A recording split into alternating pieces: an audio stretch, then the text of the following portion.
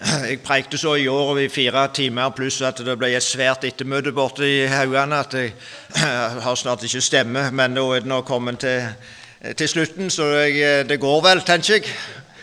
Men det skal noe til å holde så voldsomt. Men vi ber litt i lag. Kjære himmelske Far. Vi vil takke deg for at vi får være samla en fin flokk på bedehuset her nå i førmiddag. Og vi vil takke deg for alle som er samla rundt omkring i forskjellige forsamlingshus, der de er samla i ditt navn og samla om ditt ord. Og vi vil be om at både her nå og alle plasser der en er samla om ditt ord, at det er ditt sanne ord som blir forkynt. Og at du får virke slik som du hadde tenkt for den enkelte som skal høre, og at du får bruke oss, den enkelte som skal tale, til å tale ditt ord. Vi ber om åpenbaringsånd, slik at ditt ord blir levende for våre hjerter, til gang for oss og til ære for ditt navn. Amen. Det er altså um, urhistorier som er tema for disse, uh, disse samlingene som vi har uh, denne helga.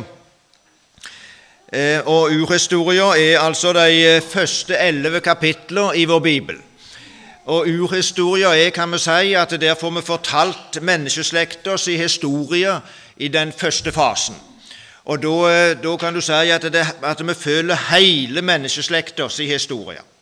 Når du kommer til kapittel 11 og går over til kapittel 12, eh, så, eh, så snevres på et vis historien inn ved at vi ved utvelgelsen av Abraham går over til det som vi kaller for frelseshistorier, som samtidig er Israels historie.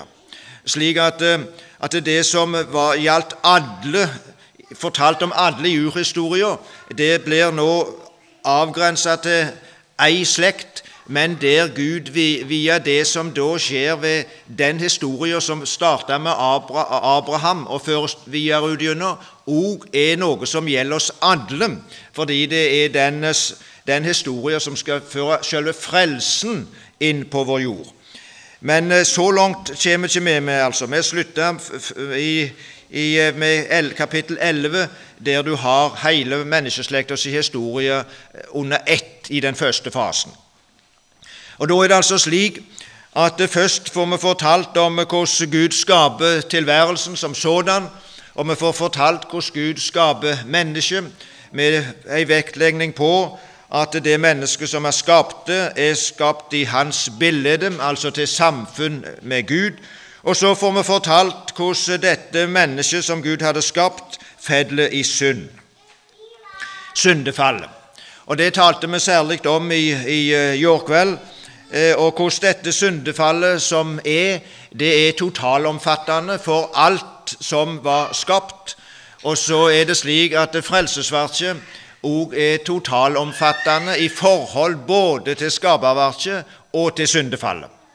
Og Det var jo veldig flott åpning vi fikk, både med det som eh, ble lest fra Skriftet, og, eh, og, det som ble født i, i lyrisk form, som svarte veldig godt til dette som vi er opptatt med nå.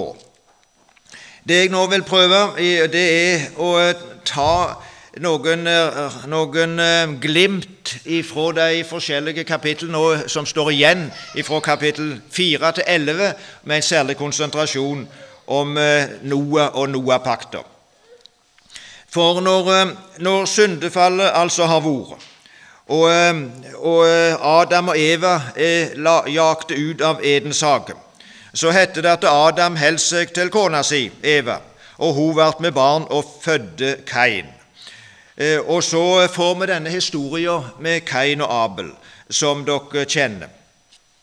Der, eh, der vi finner faktisk det første mord, eh, og vi finner denne historien med Kain og Abel, altså. Det, det, det, det skal jeg egentlig gå over, fordi vi bare refererer det. Det begynner med dette. Etter syndefallet føres via Kain og Abel. Og så kommer vi til kapittel 5, der det begynner slik Dette er boka om Adamsetta. Den dagen Gud skapte mennesket, skapte han det i Guds bilde. Til mann og kvinne skapte han deg, og han velsigna deg og gav deg navnet menneske den dagen de ble skapte. Da Adam var 130 år gammel, fikk han en sønn som likna han som hans eget bilde. Han kaller han Sett. Her står det dette er boka om Adamsettet. Nå får vi altså, etter, etter vi har fått fortalt denne innledende fasen om skapelsen, om syndefallet og om det som skjer med, med Kain og Abel umiddelbart etter syndefallet, så begynner det liksom på nytt, på sett og vis, ved at det nå får en historie fortalt. Og da om Adams etter, altså om alle som stammer ifra Adam. Og da er det sagt på nytt det som vi understrekte i forbindelse med når vi talte om skapelsen av mennesket, hvor sterkt det er understreket at Gud skapte mennesket. I 1. Mosebok 1, 27 så står det tre ganger i samme verset at, at Gud skapte mennesker, og han skapte det i sitt bilde. Og det, Når det skal nå startes på en fortelling om denne ett som går ifra Adam, så finner du den samme understrekning. Den dagen Gud skapte mennesket, skapte han det i Guds bilde. Til mann og kvinne skapte han dem, og han velsigna dem og gav dem navnet menneske den dagen de ble skapte. En kolossal understrekning igjen på at dette har ikke blitt til på noe menneske, og Adams ett har ikke blitt til på noe tilfeldig og uforklarlig vis, men det er, har sitt opphav i at de er skapte av Gud i en bestemt skaperakt der det ikke fantes noe menneske, men så ble det et menneske. Det er helt suverent ifra Guds side, og det er sagt at de altså er skapte i Guds bilde, og de er skapte til mann og kvinne, og de er underlagt Guds velsignelse. Det er akkurat som når selve historien nå skal begynne å fortelles, så tas det et nytt spenntak i selve skapelseshandlingen og Guds tanke med mennesket og vilje med mennesket. At han hadde et, har, mennesket har et opphav i Gud, et, et mål som Gud har sett for mennesket, en vilje med dette mennesket og, og at dette mennesket er underlagt Guds velsignelse i det det er skapt som individ og samtidig som mann og kvinne. Og Så heter det at det, når Adam fikk en sønn, så likna han Adam som hans eget bilde. Og Det kan jo naturligvis bety at han var som snyt ut av nesen hans, som vi sier. At han var så, så skapende like. Eh, men jeg tror det går mer enn på de ytre ting. Her tror jeg det ligger dette at når han var som hans eget bilde, at han, denne som kom ifra Adam, bar med seg alt det Adam bar med seg. Det vil si, han bar med seg det gudsbildet som Adam var skapt i, og så bar han med seg det syndefall som Adam bar med seg ved sitt fall. Slik at nå har du en menneskeslekt som både er skapt i Guds bilde, og som er bærer av synd. Og Det er det som nå blir ført videre i eh, menneskeslekta. Og Så finner vi da fortalte Adams slektshistorie. Og For oss så virker det jo noe kjedelig å lese disse slektshistoriene. Eh, og Derfor er vi nokså raske med disse siste kapitler, eller flere av disse kapitlene i, i urhistoria. Og når vi kommer til noen av disse eh, historiske bøkene, så går det veldig raskt når vi leser, hvis vi hele tatt gidder lese dem, fordi det er bare oppretning av, av slektsregister og slektslister med navn og hvor de bor, og hvem som er sønn og datter til hvem. Helst sønner, da. Eh, og, og, men det har sin historie, det har sin verdi. Fordi etter jødisk og hebraisk tenkning så er disse slektstavlene viktige. Og Gud hadde ikke tatt dem med i Skrifter i så stort omfang dersom det var verdiløst stoff. Dersom det ikke var noe poeng med, med, med slektstavlene, så hadde ikke Gud spandert på side opp og side ned i denne boka på disse slektstavlene. De er viktige fordi de viser ei historisk linje at det er en historisk sammenheng og en historisk linje. Og de er særlig viktige med tanke på den frelseshistoriske linja, som ender opp i Kristus, og der du finner da i, eh, i Nytestamentet disse slektstavlene om Jesus, så bygger de jo på de slektstavlene som du finner i Det gamle testamentet. Og de bygger på dem slik at den ene slektstavla til Jesus i Lukas evangeliet føres tilbake til Adam som Guds sønn. Altså at Jesus fører med det sin slektslinje tilbake til, til opphavet, til at Gud skapte Adam, og dette løftet som også ble gitt til, på, på syndefallets dag om, om, om, at Satan skulle knuses. Og Den andre slektstavla som du finner i Matteusevangeliet, den fører eh, den fører slektslinja til Jesus tilbake til Abraham, altså til begynnelsen av selve frelseshistoria, og viser til den oppfylling av, av løftet. Slik har disse, disse slektstavlene betydning frelseshistorisk, og så har de altså òg eh, som slektstavler den betydning at de binder menneskeslekter som sådan i sammen og viser hvordan alt går tilbake til at Gud skapte mennesket, og han skapte det i sitt bilde. Og så går det også tilbake til at det mennesket som slik var skapt i Guds bilde, det er det mennesket som har fått litt synd, og det er det mennesket som lever videre, og som trenger denne forsoner og frelser som kom. Og Hvis vi nå hadde brukt litt tid, som jeg ikke skal gjøre mye av, og, og sett på disse slektshistoriene, slektstavlene som jeg viste i, eh, i, her i urhistoria, så har vi altså to av de i hovedsak. Den, eh, den ene den starta altså med Adam. Og Adam han ble 930 år. Av de første så var det jo bare én som var ungdom når han døde og det var Enok. Han var jo bare stakkaren 365 år fordi han ble rykt opp til himmelen. Så han fikk ikke lange tida på denne jord. 365 år. De andre var atskillig eldre. Men ifra Adam, som da ble 930 år, så ble han faktisk eh, Og med det så døde han i år 930. Eh, og det var eh, bare noen få år før Noah ble født. Så var, han nådde mest opp til, til, Noah. Og så var det jo slik at når Noah ble født, så var det jo eh, starta liksom på nytt etter han, han død, så starta det liksom på nytt etter han med, med, med Sett. Og òg for Noah sin del så døde han bare to år før Abraham ble født. Slik at eh, her er det eh, en, en, en en veldig få personer som røkker over veldig langt tidsspenn. Altså, Noah, nei, Abraham han ble etter disse slektstavlene født i år 2008, mens Noah døde i 2006.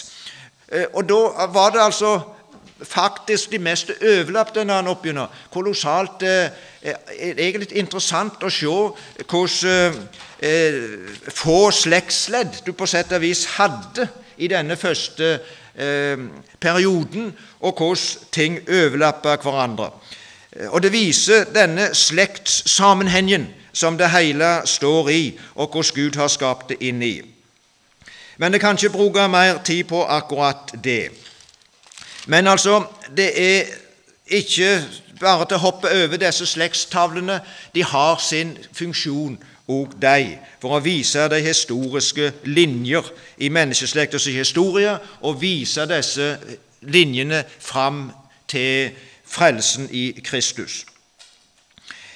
Når det så er fortalt om, om disse første mennesker og denne slektshistorien, så viser det seg at synda utvikler seg ganske brutalt. Folk de formerer seg, står det i kapittel 6, men det er ikke bare det. Folk blir flere.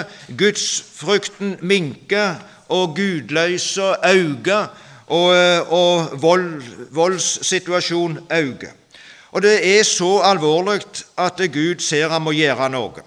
Og Da heter det i kapittel 6 og fra vers 5 Herren så at vondskapen åt mennesket var stor på jorda, og alle tanker og føremål i hjertet deres var vonde hele dagen til ende.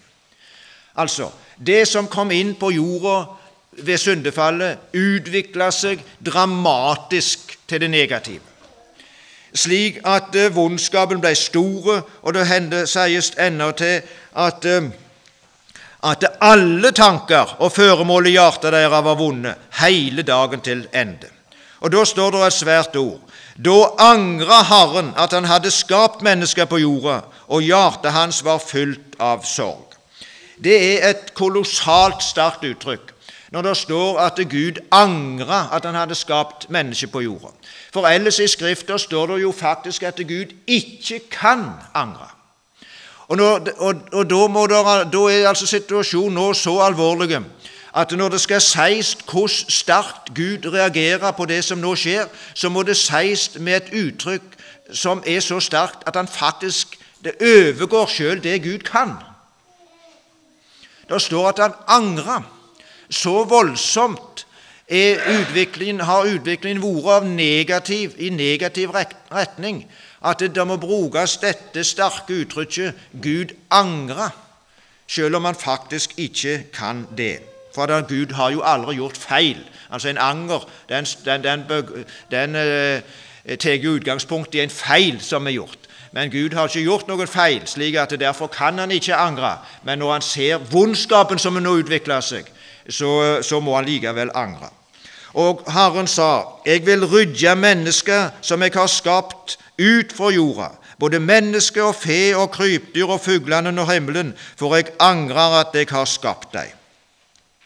Altså alt det Gud nå hadde skapt av liv på jorda, og alt som med det var dratt med i syndefallet, det angra Gud på at han hadde skapt, og det ville han nå rydde ut. Det er ganske dramatisk, eh, dette. Men det er én, og det er Noah, som finner nåde hos Gud. Men Noah fant nåde for Herrens øyne, står det. Og eh, For han var, var gudfryktig. Og så får Noah vet dere, beskjed om å bygge denne arken. Og Den var en spesiell båt. Når vi ser tegninger av eh, Noahs ark, så er den mest alltid feil tegnte, For den er jo tegnet som en båt, men den var ingen båt. Den så ut som en, en, en litt avlang kasse. Firkanta eller rektangulære kasse som, eh, i, i, i, form, og det, den var nok lagd slik fordi at eh, den med, med å bygge som en, en, kasse, firkanta med flatbunner, eh, så fikk den maksimale oppdriftskraft. Han fikk altså maksimale bærekraft på vannet og fikk maksimal plass til det han skulle ha om bord. Men han var jo totalt udyktig med tanke på, på seiling og styring når du ikke hadde kjøl på han, men denne båt skulle ikke bedrive noe konkurranseseiling eh, eller navigeres noen som helst plass. Han skulle bare bære disse som var oppi han til, i en periode og rege rundt omkring på havet til dess han stranda en eller annen plassen. Så han var ikke konstruert for å seile, men for å bære. Og så eh, bygde da Noah denne, denne arken, og det heter òg eh, i den forbindelse til Noah, men jeg vil gjøre ei pakt med deg, og du skal gå inn i arka, du og sønnene dine, og kona di og sønnekonene dine. Og av alt som lever, av alt kjøtt, skal du ta eit par av hvert slag med deg inn i arka, for å holde dem i live sammen med deg. De skal være han og ho. Av alle slags fugler og alle slags fe og alle slags krypdyr på jorda skal det komme par for par til deg for å berge livet og så skulle han ta med noe mat til disse. Da er det, Her er en dobbelthet i og for seg. Fordi Gud han sier i utgangspunktet når han reagerer på denne vondskapen som er kommet, at 'jeg vil ødelegge alt'. Men idet han ser at, at Noah finner nåde for hans øyne, så fører det med seg òg at skapningen som sådan blir berga av Noah sin fromhet, for å si det slik. Og Det ser vi gang etter gang. altså hvor skapningen for øvrig er knytta til mennesket og Guds skapelse av mennesket. Slik at når han skal berge Noah, og med det berge menneskeslekta, så drar det med seg at han òg berger alt det annet han har skapt av dyr og fugler. Fiskene var jo greie nede i havet, de trengte ikke inn i arken. Det ville jo vært litt dumt. Men han tok med seg det som trongst og bergast ifra, ifra vatnet. Og med det så føres skaperverket og Guds skaperverning videre gjennom det som skjer med arken og Noah, og gjennom den og forbi den dom som er knytta til det. Og Så kommer da denne, denne flaumen ved Noah, nei, ja, knytta på, på Noahs tid, denne syndeflaumen, som, eh, som vi sier. Eh, som er fortalt om i, eh, i, kapittel 7. Der står det at Gud han gjorde som, som Herren hadde bestemt. Han bygde denne arken. Og, og så står det at det kom vann overalt. 15 alner, dvs. Si ca. 10 meter, dekte alle fjellene. Nå er det jo en viss debatt, ser jeg i, i Dagen Magasin og andre plasser, om denne syndefloden var totalt omfattende over hele jorda, eller om den var regional. og Den debatten skal jeg ikke rote meg for mye borti. Eh, men iallfall må denne syndefloden ha vært så stor at den dekte den daværende kjente verden. Det er minstemålet. Slik at han må i det minste ha omfatta hele det området der det bodde folk, og der det sprang dyr rundt omkring, og der det var fugler som faug. fordi at eh, det var bare disse fuglene og dyra og mennesker som var i arka, som, som overlevde. Øvrige de omkom i denne, denne flaumen. Det var en form for å rydde ut alt liv, minus det som var i, i, i, i denne arken. Det heter seg når dette skjedde, så står det mot slutten av kapittel 7 da miste alt kjøtt som rørte seg på jorda, livet, fugl og fe og de ville dyra, alt kryp som rører seg på jorda, og alle mennesker. Alt som hadde pust av livsande i nesen, alt som levde på det tørre landet, døde. Han rydde ut hvert liv som fantes på jorda, fra menneske til fe, kryp og fuglene under himmelen. De vart ryddet ut fra jorda, bare Noah vart att, og de som var med han i arket. Og så sto dette vannet en stund. Og med det så er det akkurat som Gud setter en stopp for tilværelsen. Han gjør liksom et innhogg i, i, i historien og starter på sett og vis på nytt etter syndefloden ved de som han berga gjennom syndefloden ved arken. Og Så kommer vi til, til kapittel 8 og det som da skjer eh, etter syndefloden er, slutt og disse arken strander, og de eh, går ut av eh, arken. Da står det slik:" Men Gud kom i hug Noah og alle villdyra og alt fe som var med han i arka, og Gud let en vind blåse over jorda, og vannet minke. Og så stranda dette. dette. Og Legg merke til for hver gang dette er omtalt, når det gjelder det som skjer med Noah, så er det presisert at Gud kom i hug Noah, men ikke mer det, og alle villdyra og alt feet som var med han i arka.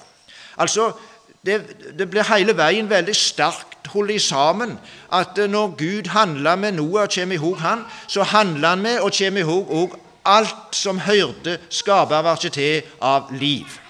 Det er knytta sammen på en sterk måte. Og så, når da disse kommer ut av arken, så, så det står om i, fra vers 18 at Noah gikk ut, og, og alle dyra, så står det alle dyr, alt krypdyr, alle fuglene, alt som rører seg på jorda, alt etter sitt slag, gikk ut av arka. Og Legg merke til igjen, det er flere plasser også her i forbindelse med Noah. Det er talt om alle etter sitt slag.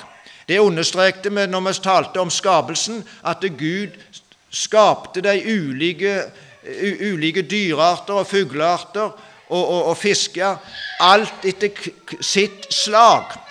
Og så er det innen hvert slag har det da utvikla seg ulike raser. Og, og, nå var det slik at de var med hvert slag, slik at det, de type dyr og, fugler som var skapte, de ble tatt vare på hvert etter sitt slag. Og Herren så lagde han et eh, offer der, et alter å ofre. Og så står det at Herren kjente den gode angen, og Herren sa med seg sjøl Jeg vil aldri mer forbanne jorda for menneskers skyld, for tankene i menneskehjertet er vonde fra ungdommen av. Jeg vil aldri mer drepe alt levende slik jeg nå har gjort. Så lenge jorda står, skal såtid og haust, kulde og hete, sommer og vinter, dag og natt aldri ta slutt. Altså, i det denne syndefloden var over, så gjør Gud et løfte at noe slikt som han nå har gjort, vil han aldri mer gjøre. Og han har en veldig spesiell begrunnelse, og den er dette For menneskehjertet er vonde fra ungdommen av. Altså, Han begrunner at han ikke vil straffe de mer med at menneskehjertet er vondt. Hadde han begrunnet det med at nå har etter dette må jo mennesket ha lært, slik at nå vil de ikke handle slik de nå har gjort før. Eller nå har jeg fått renska de ut dette vondskapen ved at Noah førte videre, og han var en rettferdig mann, så nå er denne vondskapen vekke. Nei, han sier jeg vil aldri gjøre det mer, fordi vondskapen i menneskehjertet er der fra ungdommen av. Altså, sier Gud, det som jeg nå har gjort, det var en måte å sette en foreløpig stopp på, på den utvikling som er. Men dette er en måte som jeg ikke kan få vondskapen og synda vekk på. Det må gjøres på annet vis. Det må, viser det seg etter hvert, gjøres ved en stedfortreder. Ved at Jesus kommer og tar vondskapen og synda på seg og gjør opp for det, slik at det kan startes på nytt på en ny himmel i en ny himmel og på en ny jord, slik som vi talte litt om i, eh, i går kveld. Denne måten å få vekk synda på og vondskapen det er, det er ikke en vei som fører fram endelig, men det setter en foreløpig stopp. Og så sier jeg nå vil jeg eh, ikke ødelegge noe, vil ta vare på det, og jeg vil la, la det som jeg har lagt ned i skaperverket, gå sin gang, med, med, den tidsordning som der ligger, med sommer og høst og vinter, og med døgnrytme, og med alt av dyr og alle disse ting som jeg har skapt. Og Derfor kan vi være sikre på at eh, om det somme tider ser dårlig ut på, på vårparten, om det blir noe sommer i år, så blir det sommer hvert år. Eh, og, og ser det dårlig ut nå i disse klimatider at vintrene kan forsvinne, så blir det vinter. Fordi det har Gud sagt etter, etter syndefloden, at han, den, den årsrytmen han hadde lagt ned, den skal stå ved lag, selv om man kan variere litt i, i utforming. Før vi nå går inn på, på, det siste med Noah, så hopper jeg litt til, til kapittel 11 og 12. Eh, kapittel 10 og 11, mente jeg. For når du kommer til kapittel 10, så får vi ættene fra Noas tid framover. Og vi får de forskjellige slektleddene og hvor, slektene, hvor de, de eh, bor, og hvordan de sprer seg ut over jorda.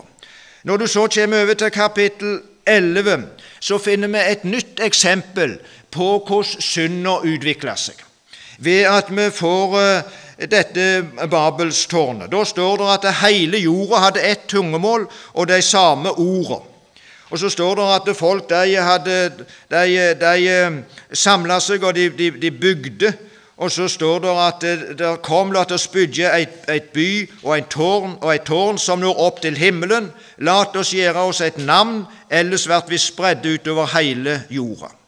Altså Her var mennesket i ferde med å innta en posisjon som de ikke skulle ha, og så griper Gud inn og slår ned og slår ned tårnet og, og, og forvirrer språket og sprer folk.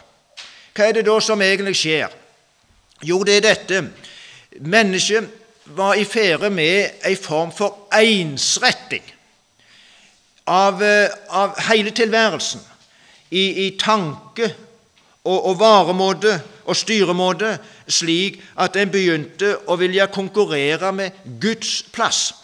Og da slår Gud inn og, og, og viser hvordan den ensretting som eh, Babeltårnet står som et uttrykk for, er i strid med Gud og hans vilje. Og, men, de, og, men, og denne, denne ensretningstenkningen og samling av konsentrasjon og makt det ligger der i hele, hele historien som et problem og som en fare.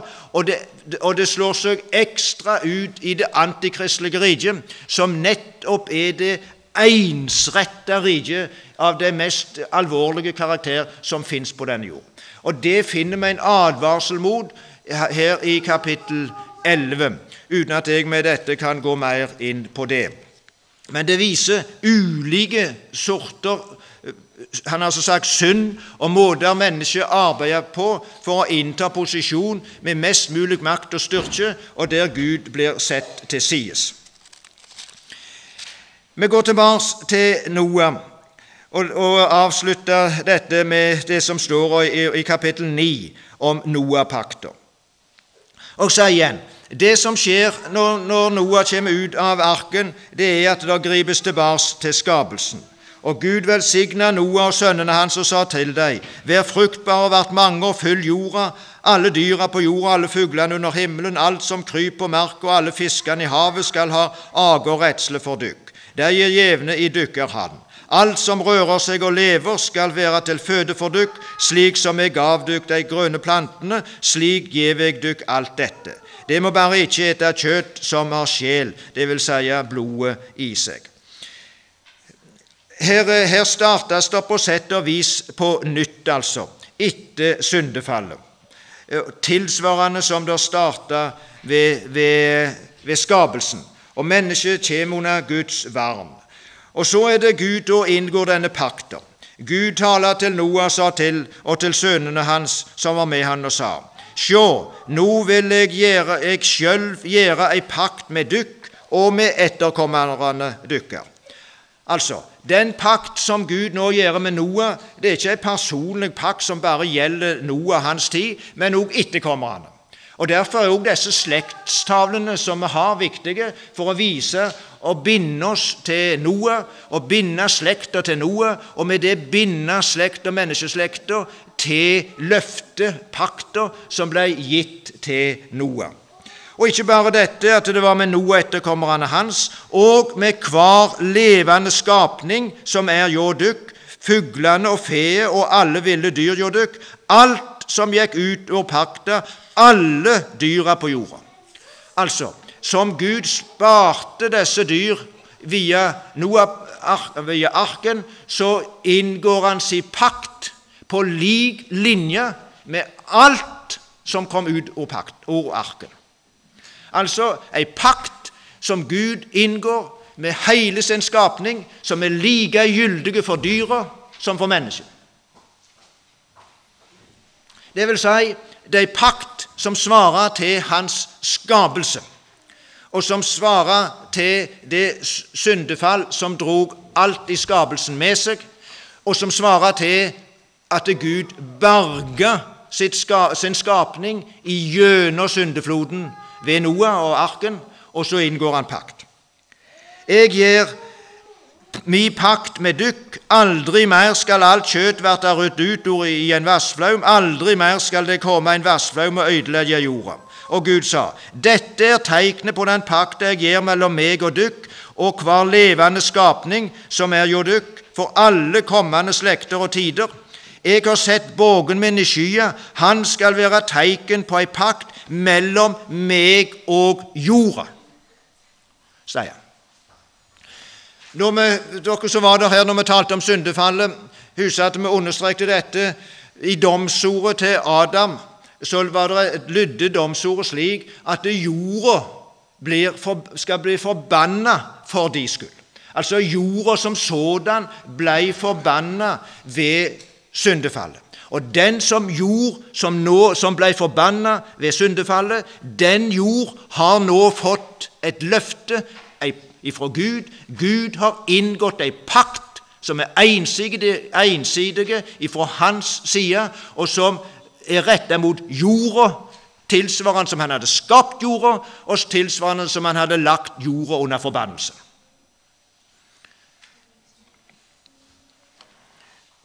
Og, til det har han altså sett sin bøye, regnbøyen. Og det skal stå fast at når jeg fører skyer over jorda, og bågen kommer til syne skyer, da skal jeg komme i hug pakta mi mellom meg og dykk, og hver levende skapning av alt kjøtt, og vatnet skal aldri mer bli en flaum som ødelegger alt kjøtt. Når bågen står i skya, vil jeg se på Han og komme i hug den evige pakta mellom Gud og hver levende skapning, alt kjøtt som er på jorda.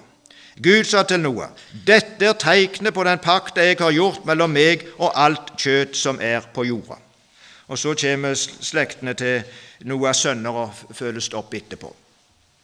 Og Dette talte vi jo om noe på slutten i går kveld, når vi, da vi sa etter syndefallet noe om hvordan alt var med i forsoningen i Kristus, og alt eh, eh, og, og, dette med Romerbrevet 8, som sier at skapning som sådan lengter og stunder etter Guds barns herliggjøring og frigjøring, fordi det drar med seg ei frigjøring og herliggjøring av alt som har, hører skapningen til. Det svarer altså til dette, denne pakta som hadde, uh, Gud hadde inngått med, med Noah og med skapningen og med jorda, og som ender opp i at Gud skaper en ny himmel og ei ny jord. Der ender dette opp. Det står altså om denne regnbuen, og regnbuen er jo veldig flott. Og når vi ser regnbuen, så er det sikkert en annen gang vi kommer tenker på Noah-pakta, vi òg. At denne regnbuen den, den minner oss om Noah-pakta. Men regnbuen står ikke primært for at du og meg skal bli minnet på denne pakta, men den er satt for at Gud sjøl skal bli påminnet til pakta. Det er viktig nok at du og meg blir påminnet til dette, men det helt fundamentale er at pakta står for Guds øyne konstant, og at Han blir påminnet til sin egen pakt, slik at denne pakt blir oppfylt. Da skal jeg komme i hu pakta mi, sier han. Det er vår berging. Hvis det skulle stunde på at du og meg måtte huske på dette, så hadde det ikke vært rare greiene. Men vår berging er at Gud har sett en bøye i, i skyene som en påminning til seg sjøl, slik at pakta ikke blir glemt, men han utfører den. Og nå det siste. I Esekiel, i, i Esekiel 1 så et, har, har profeten et, et, et syn og en, og en profeti om det som skal skje framover. Og Der ser han, eh, der ser han en som sitter på, på truna, og det er tydelig Gud i himmelen som sitter på truna. Og så står det 'som synet av bågen i skya på en regnværsdag'. Såleis var synet av glansen rundt ikring.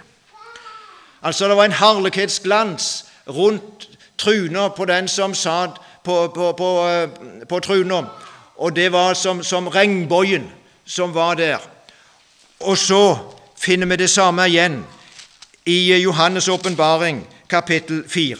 For i Johannes' åpenbaring, kapittel 4, begynnelsen der, er det referert til det syn som Esekiel hadde, og nå er det slik at Johannes ser det syn oppfylt.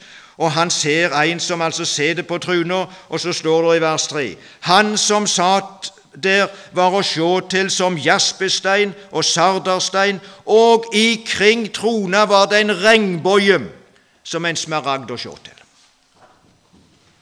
Det står ikke noe om at det regna i himmelen, men det står det var en regnbøye, og den var rundt omkring truna. Legg merke til det. Tenk deg at dette er truna, og samme rundt omkring så er regnbøyen. Det vil si, er du på truna og skal se en eller annen plassen hvor du vender deg, så ser du regnbuen. Og alt det du skal se, må du se via regnbuen. Og da, når Gud ser regnbuen, og hvor han ifra sin himmel skal se, så er han nødt til å se på alle ting via regnbuen.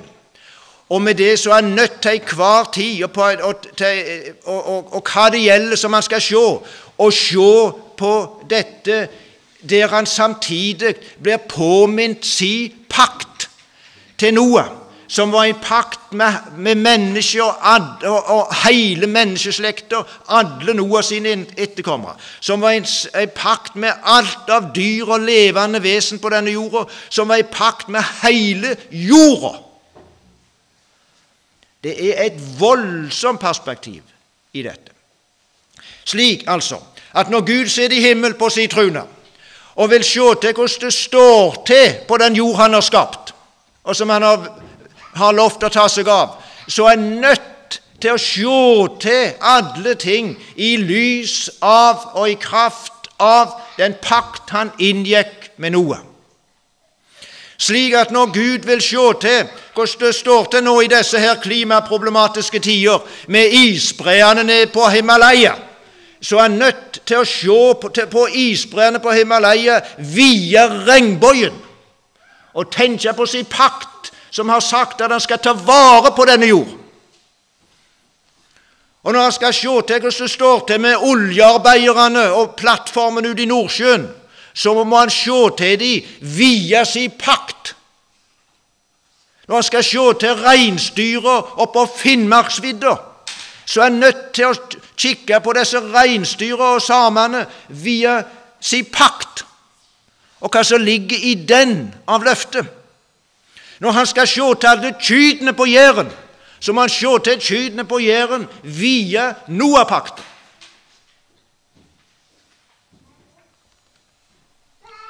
Og når han skal se til deg, og når han skal se til meg, så er han nødt til å se til oss via Noapakta. Det er komplett umulig å se for Gud og se deg uten å se deg via regnbuen. Og det regnbuen påminner Gud om når det gjelder hans løfte.